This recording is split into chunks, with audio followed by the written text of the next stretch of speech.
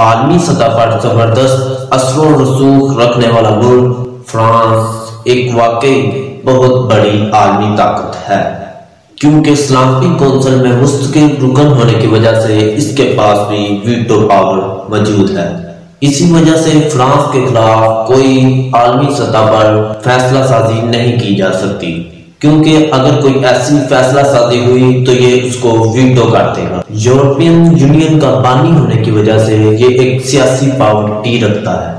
जब फ्रांस बोलता है तो पूरी यूरोपियन यूनियन इसके साथ खड़ी होती है और इसके साथ बोलती है। फ्रांस आलमी सतह पर ज़बरदस्त सियासी असर रखता है।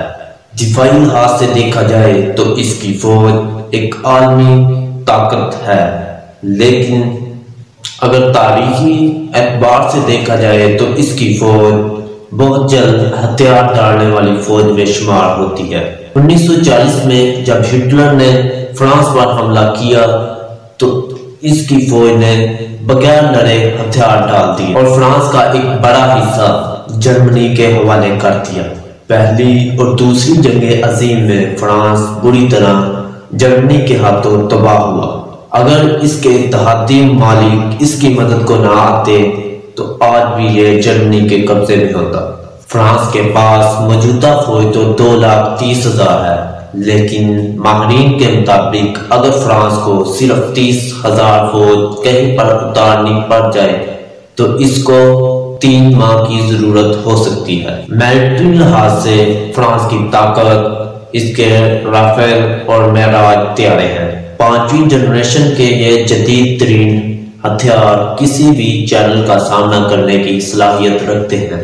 इसके अलावा एटमी आबदोजे भी इसके पास मौजूद हैं और शॉर्ट और लॉन्ग रेंज के मजाइल और और इसकी बैटरिया की ताकत है।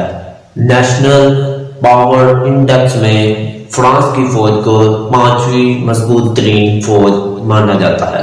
मौजूदा हालात में फ्रांस अपने मुकाबले की किसी फौज से लड़ने के लिए मैदान में तो नहीं उतरा, लेकिन लेकिन मालिया और लीबिया की मौजूदा कार्रवाइयों में फ्रांसी फौज मौजूद थी।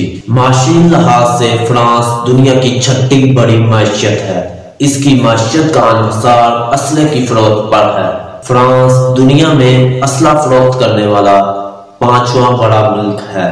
और इसके अलावा इसकी दूसरी बड़ी सनतें खुशबुएँ दुआ साजी और सियाहत है।